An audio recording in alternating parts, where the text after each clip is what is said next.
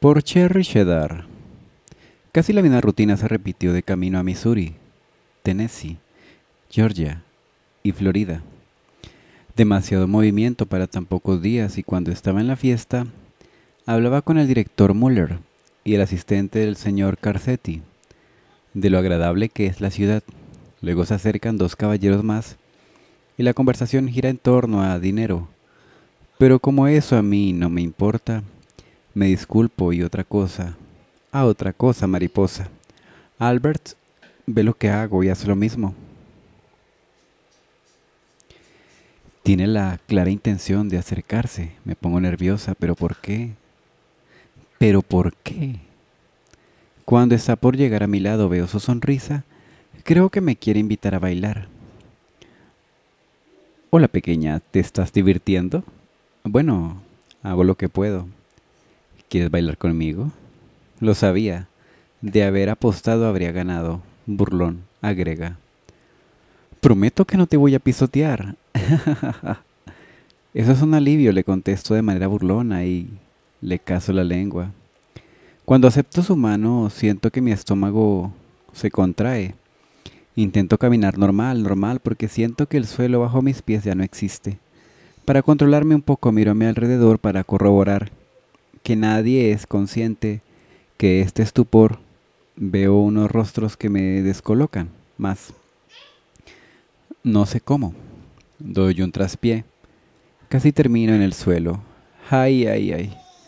¿Estás bien? Su voz suena preocupada. Si no es porque estaba a mi lado, seguro termino como una alfombra.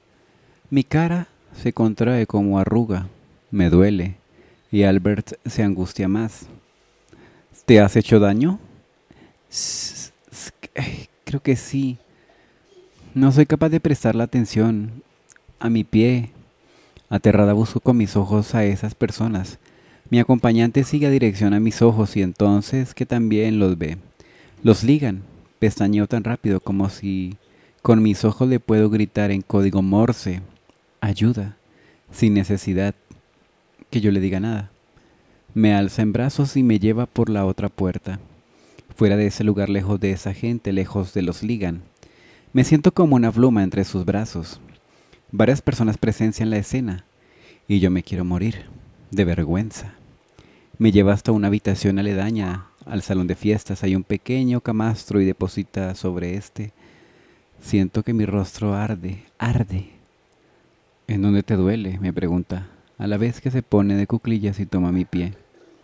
Qué boba, no soy capaz de gesticular palabra. No sé si es por ver a esa familia, por el dolor de mi tobillo o porque estoy a solas con Albert.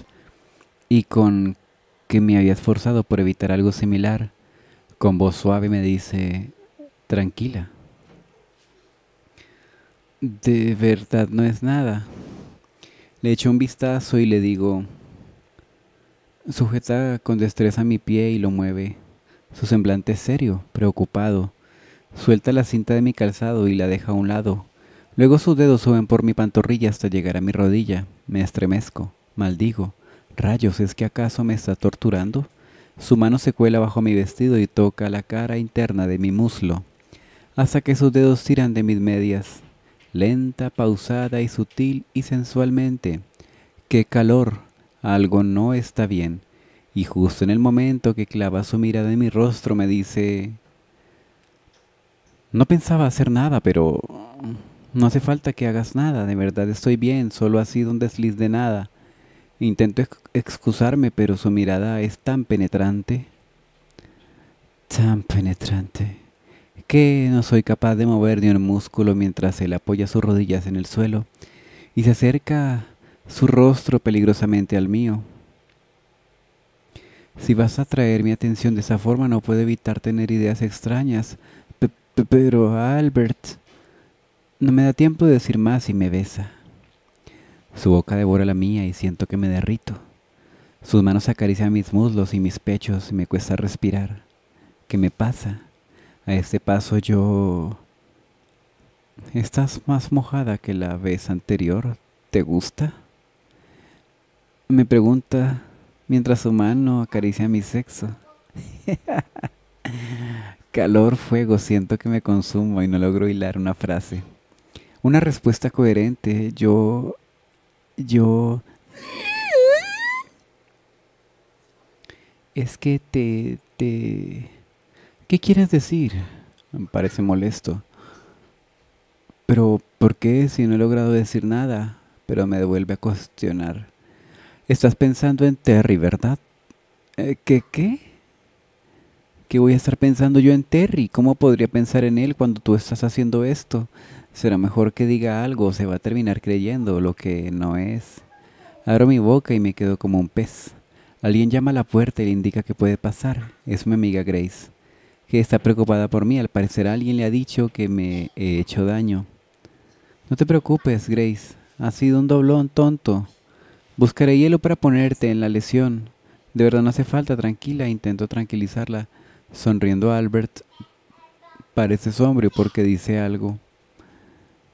Te llevaría a tu habitación, a lo mejor. Lo mejor será que descanses para que mañana estés mejor. Eh, gracias, no te preocupes, que yo sola puedo caminar. Ya me dejó terminar porque me alzó en brazos y caminó rumbo a mi habitación. Grace viene tras nuestro y me atrae mi zapa y media en su mano, por favor. No me puedo morir más de la vergüenza. Mi amiga tan amable le solicitó hielo y a botones antes de entrar al ascensor. Cuando finalmente me deja sobre la cama, no me queda más de otra que dar las gracias. Gracias, Albert. Descansa. Y si ves que no puedes seguir con nosotros, buscaré un billete para que te regreses a Chicago. ¿Qué le digo? Debería aceptar, pero seguía creyendo algo que no es porque de pronto me interesa que Albert no se lleve un concepto equivocado. Estaba a punto de decir algo cuando lo veo bajo el umbral de la puerta y me dice, buenas noches, que descanses. Se va y se gira y se va. Buenas noches, Albert. Muy bien, Candice. Te mereces un premio a la más lenta. Doña Caracol. Grace aparece y me deja el hielo sobre mi pie magullado. Tan linda en tan poco tiempo nos hemos cogido mucho cariño. Nos hemos cogido mucho cariño. Como buena enfermera que soy yo, si yo misma me doy piropos. Lo necesito, me siento fatal por Albert. En fin, que me tomo un analgésico por si las moscas y me voy a dormir. A la mañana siguiente me despierto casi como nueva. Me pongo un pequeño vendaje por si acaso y recojo mis cosas de la habitación. Desayuno con mi amiga mientras espero que aparezca Albert en el restaurante, pero no lo hace. Sin embargo, George se acercó a saludarme. Buenos días, señoritas. ¿Cómo han descansado? Buenos días, George. Muy bien, gracias por preguntar. ¿Quisiera sentarse con nosotros a desayunar? Les agradezco la invitación. Y como buen caballero que se sentó cuando finalizamos nuestros platos. Nos vamos a la estación de tren. No veo a Albert por ningún lado y no me atrevo a preguntar por él a nadie. Cuando llegamos a Virginia logré divisarlo nada más descender del vagón. Estaba hablando con el director Muller. Me ignoró.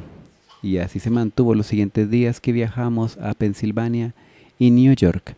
No pude evitar sentirme triste, extrañaba hablar con él, aunque mi amiga Grace fue una grata compañía, pero no pude olvidar que gracias a al mal trago que pasé por toparme con los Ligan, Ahora Albert está enojado conmigo, eso es seguro, porque no le encuentro otra explicación, como tampoco a sus osadías tengo que hacer los, las paces con él y de paso decirle que deje de hacer eso de una vez.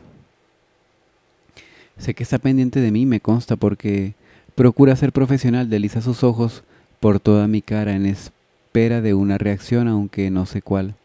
Tengo ganas de sacudirlo por el cuello y de no ir a la fiesta esa noche, pero Grace es otro cantar, así que finalmente asisto una hora, hasta que ella me cambia por Jaime, y entonces me marcho en paz a descansar, temprano como las gallinas. ¿Te vas tan pronto de la fiesta, Candice? Cuando escucho esa voz giro sobre mis talones y veo que Albert aparece en el otro pasillo acompañado de una rubia despampanante. Hasta yo la veo guapa. Trago grueso. Estoy celosa, pero ¿por qué o de qué? ¿Pero por qué? Así es, señor. Señor X. Hasta ahora caigo en cuenta que no le he preguntado su apellido a Albert, qué poca vergüenza que le tengo. Pero es en todo ese tiempo que he escuchado que alguien lo llame por algún otro nombre. Candy, tienes que fijarte más. Su voz burlesca me saca de mis cavilaciones. ¿No será porque hay alguien mejor para hacerle más entretenida la velada? La verdad es que sí, doña Almohada. Me está reclamando, estoy realmente cansada y me temo que mi compañía no es la más idónea para ese tipo de eventos, así que mejor me retiro, que lo pasen bien. Buenas noches.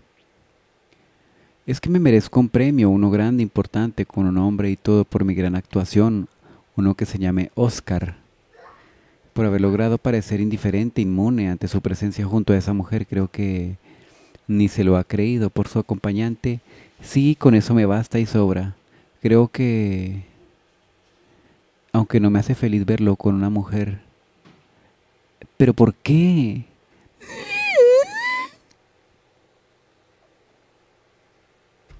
¿Pero por qué? Una vez en mi habitación me quito la ropa y busco mi pijama. Por un momento me dio la impresión de que alguien pasaba frente de mi puerta, pero nunca llamaron. De seguro es otro huésped del hotel. Después de martirizarme con imágenes de Albert junto a esa mujer, logro quedarme dormida. Al día siguiente veo que intenta acercarse a mí, pero ahora soy yo la que lo quiere lejos.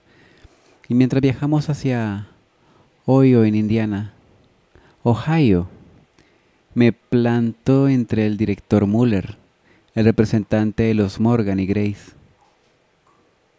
Como los muros infranqueables que me permiten estar salvo de él, su compañía, su sonrisa, su voz. Ay, que ya estoy desvariando, al final parecemos como niños que juegan al gato y al ratón. Finalmente estamos en Chicago, pero el trabajo aún no termina. Han reservado el salón del hotel Palace, Palace, para tener una conferencia. Se ha hecho el resumen de todo lo que hemos visto estos días. La verdad es que soy muy molida. He aullado a George y Albert en la preparación de esta presentación Aún no termino de entender por qué. ¿Pero por qué? Pero bueno, lo hice esa noche cuando llegó a mi habitación me encuentro una caja sobre la cama y esta trae consigo una nota. Abro el sobre y para mi sorpresa leo, perdón, al...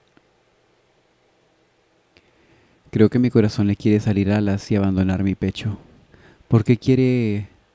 ¿Por qué me hace ilusión leer esa palabra? En la recepción veo que Grace va del brazo de Jaime, levantó mi pulgar y le guiñó un ojo y hacen buena pareja. Buena pareja. Toma una de las copias que me ofrece un camarero y me muevo entre los invitados, picoteo algo, tengo hambre hasta que un hombre se me acerca y dice muy halagueño. Ese salmón está delicioso. Me miró para sonreírle por su comentario, pero parece que es igual que yo que está ahí por la comida y no lo que le digan los demás, doy vergüenza, porque me quedo sin palabras al reconocer al señor fornido, muy fornido, con un bigote y muchas canas en su cabeza. El hombre me pregunta, ¿ha probado el plato? Se lo recomiendo. Doctor Martín.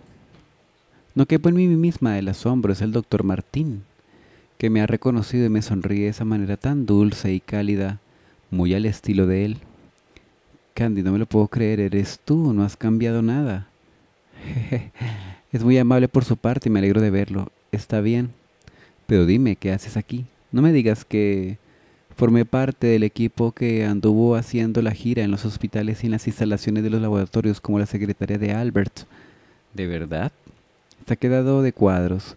No sé qué le sorprende más que haya sido la secretaria o que fuese junto con Albert. Conversamos un poco de lo que hemos visto cuando de presto me comenta, ese Albert ha cambiado, se le ve diferente de alguna forma. la, la, la verdad es que sí. Sin embargo, tú fuiste muy descortés ante esas palabras, me erizó. No me hace falta darme la vuelta para saber que él está detrás de mí y Martín sonríe muy fresco. Albert se inclina un poco para acercar su rostro. Sin embargo, tú fuiste muy descortés, Candy. Albert se inclina un poco para acercar su rostro, casi apoyando sobre mi hombro, y prosigue. No me recordabas. Es que, aunque yo la reconocí a primera vista, ay, más vale que no diga más. Siento que un párpado me tiembla y no soy capaz de darle un florero en la cabeza para que le vuelva la amnesia. No, Candy, no intentes pegarme con el florero, Candy. Es porque me reconoció el primero que esos encuentros que hemos tenido se han dado. Su voz me trae otra vez al momento con su comentario. Luces muy bella con ese vestido. ¿Acaso algún pretendiente te lo ha regalado? Martín sonríe y yo bufo, Albert sonríe. Vaya, para el que me rodea. Vaya para el que me rodea, cuando hago el gesto de marchar me siento como una mano me detiene. El que me quita la copa y quiere que lo acompañe a bailar, y el doctor que poco le falta para hacernos porras. Su mirada azul me dice que acceda, que diga que sí y mi estómago se pone a girar como si hubiese vuelto un tornado, pero ¿qué me pasa? ¿Pero por qué? Cuando estamos en la pista entre las otras parejas soy guiada por Albert siguiendo la melodía. ¿Pero por qué? Como sigue de tu pie. Mucho mejor. ¿Eso quiere decir que se ha preocupado por mí? Bueno, es bueno, me alegra saber que estás mucho mejor. No puedo evitar estremecerme con esa declaración lo ha dicho de tal forma con su voz grave acerca de mi oído. Es bueno, me alegra saber que estás mejor. Tanto que he sentido su aliento acariciando mi cuello. Nos seguimos desplazando por la pista hasta que vuelve a susurrar cerca de mi oído. No te asustes. Pero los Andris... Ellos acaban de llegar al salón. Con sutileza me hace girar y me puede ver. Puede ver a la tía Elroyd, George Archinil, Elisa, Sara y el señor Ligan, que son recibidos por mi jefe, el director Muller. Doy un traspié, pero Albert me tiene bien sujeta, no puede evitar ponerme nerviosa, pero por, pero ¿por qué? Tranquila, pequeña. Te dije que si mantienes a mi lado todo estará bien. Pero ¿por qué oír eso me hace pensar peor? Me dice tranquila si actúas extraño. Pensarás que está pasando algo. Pero si me sujetas tanto, de seguro van a pensar que pasa algo. Solo sonríe, sonríe. Y piensa que con eso soluciona todo. No puedo evitar rodar mis ojos y ponerlos en blanco. Mejor eso que cogerlo del cuello. Estaba tan concentrada en contener mis ganas de ahogarlo que no había percatado que los Andris no se estaban observando. Tengo miedo, Terminamos de dar un par de vueltas y finalmente acaba la canción. Albert me sugiere salir de la pista poniendo una mano suya en mi cintura. Pueda que esté bien. Así esa gente no querrá acercarse a mí, creyendo que estoy con él. Si siguen pensando que son don nadie, no tienen razón para entablar conversación con él. Pequeña, tengo curiosidad por saber cómo está tu pie. Eh, ¿Eh? ¿Pero de qué está hablando? Eh, no me da tiempo de nada ni explicarme más. Salimos por la puerta, un pasillo que dirige a los lavabos, pero antes de llegar a estos entramos a una pequeña habitación, cierra atrás sí, y me rodea con sus brazos, cielo, estoy temblando. Con su nariz parece olfatear mi cuello y me estremezco. Su aliento acaricia mi piel, tiemblo, siento una de sus manos acariciando mi pecho y empiezo a derretirme. Se escucha el ruido de unos pasos acercarse, la voz me suena familiar. Intento separarme, pero Albert me lo impide. No, no, para. Puede que nos descubran. Si hace ruido entonces, sí nos descubrirán. Esa mirada es por favor, es de total seducción. Su voz parece también cargada por el deseo, el mismo que me está quemando. Pero ¿qué estoy diciendo?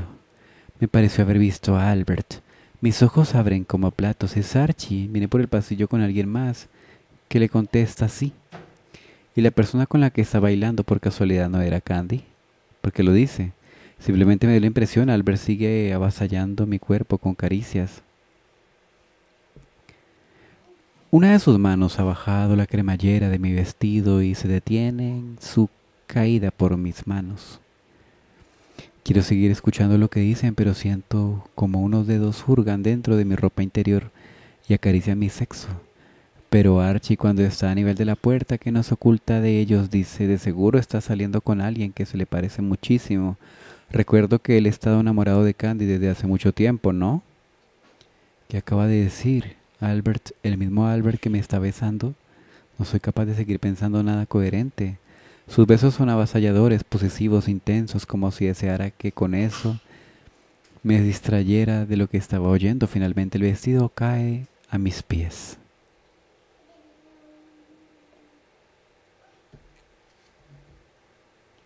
Siento como una de sus manos recorre mi cintura y caderas. Me abraza y siento como algo se endurece dentro de su pantalón. No sé dónde está mi resistencia, no sé si dónde estoy. Solo me concentro en esas caricias eléctricas que sacuden mis labios íntimos. Su mano acaricia mi sexo con destreza y fuego empieza a derretirme. Pero de lo lindo, su palma se pringa y de mi húmeda excitación mis piernas flaquean cuando siento como un dedo hurga en la entrada de mi vagina. Más fuego. Respiro agitadamente y tengo la fuerte necesidad de llenar un vacío que ignoraba que existiese. Soy lava. Sin darme cuenta, Albert ha bajado la cremallera de su pantalón dejando expuesto su miembro. Me gira y apoyo mi rostro en la pared mientras él busca cómo saciar ese fuego y mi vacío de un empellón.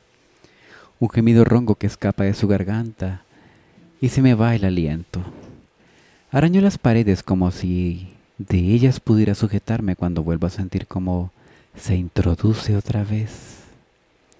Se siente tan bien, tanto placer, rozando todas mis paredes internas. Me gira como para devorar mi boca nuevamente. En un apasionado beso lo necesito, levanta una de mis piernas y busca nuevamente poseerme. Y yo lo dejo, quiero que siga, como puedo, intento sujetarme en su cuello tal y como me lo pide mientras apoya mi espalda en la pared y me penetra. Mis piernas están entre sus brazos y mueve su cadera para entrar una y otra vez, rozándome por completo, llenándome de su sexo tan profundo, es tan caliente y tan grande que siento que me puede romper en dos. Siento que mi corazón está por romper las costillas a salir de su sitio. Un fuego se centra en mi sexo y creo que voy a convulsionar. Mis piernas también. Tiemblan, mi vagina se contrae con los espasmos rodeando su pene ante mi clímax. Un gemido intenso intenta con salir de su boca cuando Albert lo toma con un beso a la vez que él también estalla en mil soles por su orgasmo. Mezclando nuestras esencias creo que no puedo con mi alma. Me falta aliento. Cuidado, Albert. Se sienta sobre la cama que hay ahí y esparce besos sobre mi cuello y rostro y dice algo, pero aún no soy capaz de coordinar. Muchas palabras juntas aún creo convulsionar por el orgasmo. Una vez que nuestras respiraciones son normales y quiero volver a tener un corazón que late con normalidad en mi pecho, me encuentro vestida. Albert amablemente me lo ha colocado, faltaría más siendo él quien me lo quitó. La espesura que tenía mi mente embotada va desapareciendo poco a poco y esas palabras dichas por Archie vuelven a perturbarme. Quiero preguntarle, necesito preguntarle, pero no me siento capaz de mover un solo músculo. Todos sospechaban por habernos ido tanto tiempo, ya puedes dar por hecho. Y es tu culpa aunque te ves muy tranquilo a pesar de esto. Oye, Albert. Sobre esto, lo que dijeron, ¿el qué? Ay, Escuchar esa pregunta me molesta de verdad. Se está haciendo como el que no ha habido nada. Fronzó el ceño, o eso creo. Quiero ponerme en pie y largarme de aquí, pero inevitablemente me mareo. Mis piernas no responden como deberían. Perfecto. Lo que me faltaba. Al verme así me pregunta, ¿estás bien? Lo siento. Estoy muy... me estoy disculpando. No sé si estoy fatal, gracias. Diré una excusa adecuada, así que quédate tranquila. Tendrás conmigo que Vendrás conmigo. Me ayuda a sentarme nuevamente para luego salir al pasillo. Su mirada es tan tierna que siento como mi corazón se revoluciona. ¿Será traidor? ¿Iré con él? Ay, mi madre, me queda algo. Me, me va a dar algo. Un par de minutos después regresa y me levanta en brazos como si fuera una princesa. Ay, siento que mi cara arde del bochorno de estar entre sus brazos siempre tan protector, ver su mirada tan cargada de ternura, amor. Y ni qué decir de las mujeres que nos encontramos en el camino de envidiosas. por este alto rubio que unos ojazos increíblemente bellos lleven en brazos. Creo que mi corazón se va a dar de golpes contra mis costillas, pero del gusto. No soy capaz de decir nada. No soy capaz de decir nada ni, ni de preguntarle hasta dónde me lleva, pero creo volver a respirar con normalidad cuando veo el edificio donde vivo. Una vez dentro de mi habitación, Albert me vuelve a quitar el vestido y las medias. Dejándome solo en ropa interior, la piel se me pone eriza de solo imaginar de lo que puede ser capaz. Mi garganta se seca de golpe, recuerda la sensación de su miembro en mi interior. Entonces, toda fantasía se borra. ¿He dicho toda fantasía? Pues sí, estoy fatal. En fin, que se me borra cuando me pide que levante los brazos y me ayuda a ponerme el pijama. Y como si fuese una niña me mete en la cama y me arropa, cielos, qué tierno. Y este corazón mío que late a lo tonto. Tengo que revisarlo con el especialista.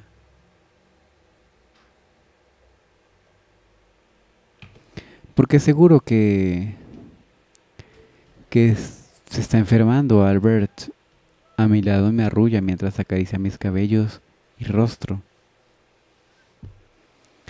prometiéndome que mañana cuando me sienta mejor hablaremos, largo y tendido, largo y tendido, es el sueño en el que caigo gracias a su cercanía.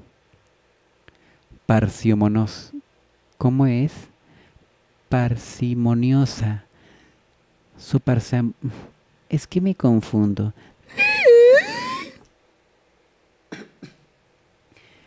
Parsimoniosa voz.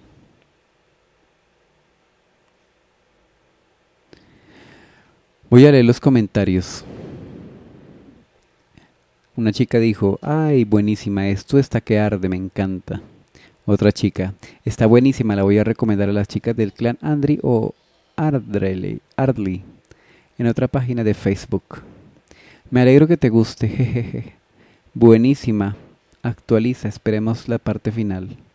Se cuidan, chicas, bendiciones, ánimo. Son hermosas, maravillosas, son únicas e inigualables e irrepetibles y valen muchísimo.